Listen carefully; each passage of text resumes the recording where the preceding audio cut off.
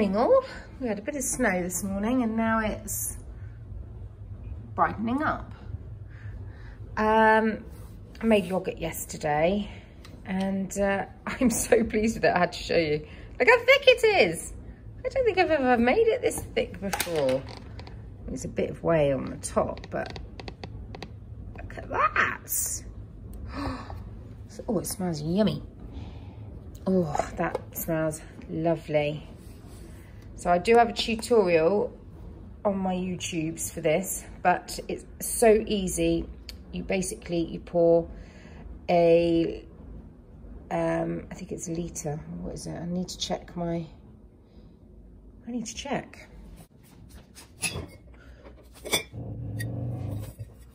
It's 568 millilitres, which is basically a pint. So round that up or round that down.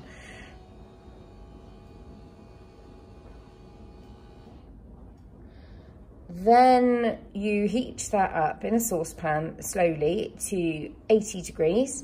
Then you allow it to cool down to 45 degrees and then you stir in 60 mils of yogurt or 60 grams of live yogurt. Give it a good stir, pour it into your vessel and put it somewhere warm for about 12 hours. So I had this on top of my boiler with a towel over it. Um, and then you get yogurt brilliant is that? And it hands-on times hardly any. And uh, sorry about the noise in the background, but that is, uh, I've put the dishwasher on a cleaning cycle.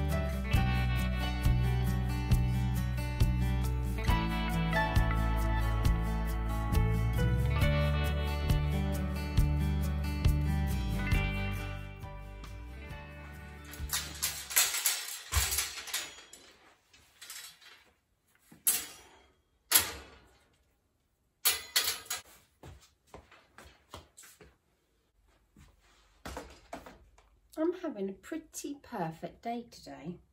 I've been looking forward to it all week because I knew it was going to be really busy the start of the week and then today because the boiler's been leaking water.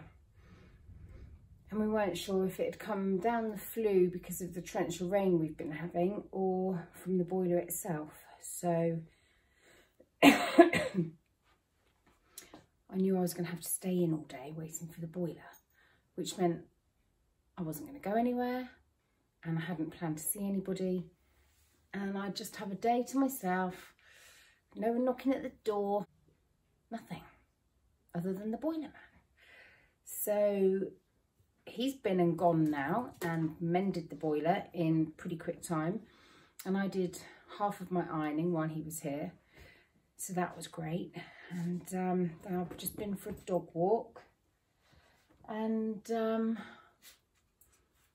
know, it's just so nice to flow through the day. I've washed my woolens. These are um, socks I knitted ages ago. They're sparkle yarn. They're the Candy Floss socks by Emily Yarnberry. So pretty. I can't remember who the yarn was by think it was by Somerset Yarns, who I believe is quite local to me. I think she's in Clevedon. I popped an afterthought heel in, but it's actually It's not an afterthought heel at all. It, it's a toe and it's the barn toe. And it works really well as a heel for me. Just have to put a few rows in before you start your decreases. This sock is um, dandelion and dogwood yarn, lipstick and lingerie. And this is just a vanilla sock, again with this cable um, cuff, which was from Emily's Candy Floss pattern. And this afterthought heel is basically an umbrella toe. But I don't think, I don't think I got it from um, Kay, who calls it a uh, an umbrella toe. I don't think I got it from her, one of her patterns, because I hadn't bought one of her patterns at that point. So I think I just googled different knitting toes, knitted toes.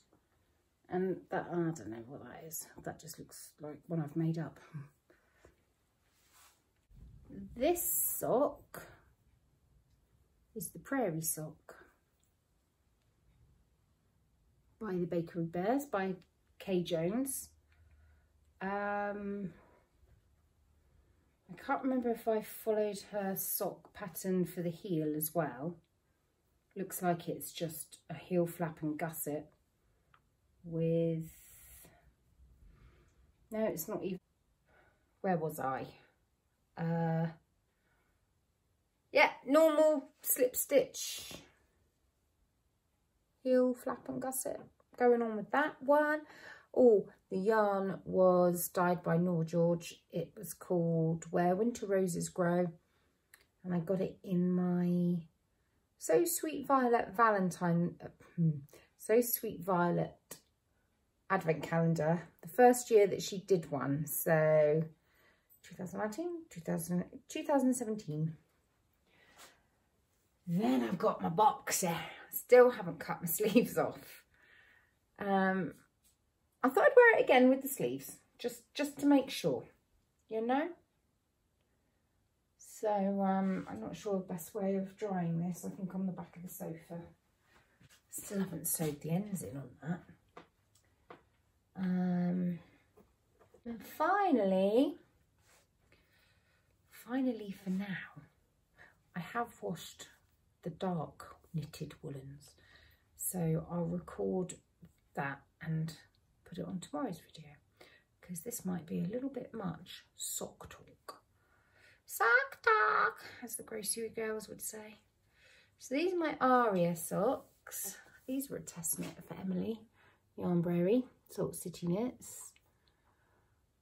And this was the first, was this the first lace I did? Yeah, it was the first lace I did properly and the first lace chart that I followed.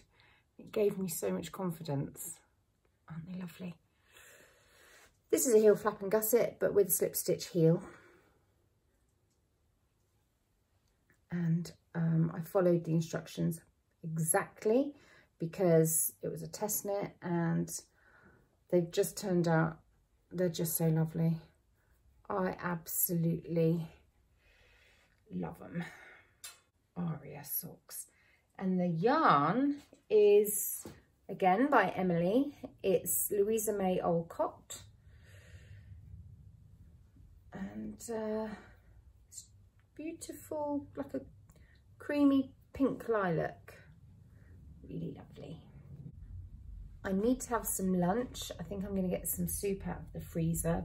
Thai butternut squash probably. Um, check what the time is. And um, I've got some badmin to do. It's a good job these vlogs are coming to an end. I'm boring.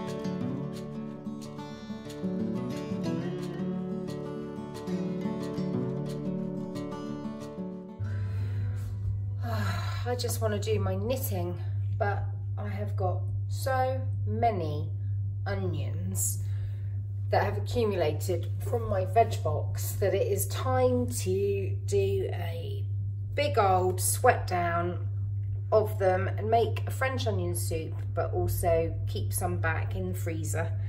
So for those recipes that need slowly sweated down onions, I am prepared.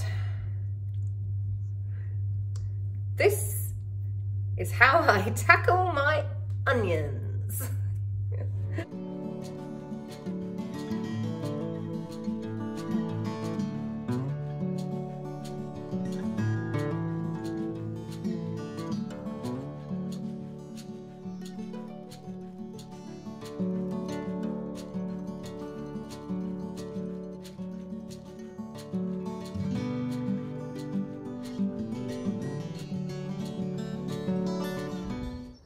Funny to think that this morning there was snow. And now it's blue skies. Beautiful. I just wanted to show you this. Okay, so this is a bit of leftover pastry from um, the ugly pie I made the other day, which actually on camera didn't look that ugly and did taste nice. And inside is some chicken, left over from Sunday roast and some bacon, some stock, creme fraiche, stock cube, I think. Um, and I've made into this pasty that reminds me of a river, a riverbed fish. And I'm gonna say, it's beautiful. I've done a really good job. I don't know what it is with us Brits but it's been pointed out to me a couple of times that we don't, um, we put ourselves down a lot. But I think you can agree. That's one funny looking pasty. Let's take a look at the ugly pie. Oh, badgers. It's lost its guts. Nearly done though. And the onions are looking good for a French onion soup. Well, yeah, they look like throw up, but um, spew. but, oh, I love French onion soup. It's going to be gorgeous. I've just turned on my twinkle lights. Oh, gosh, I really need to have a good sort out in this kitchen. It's um actually horrendous.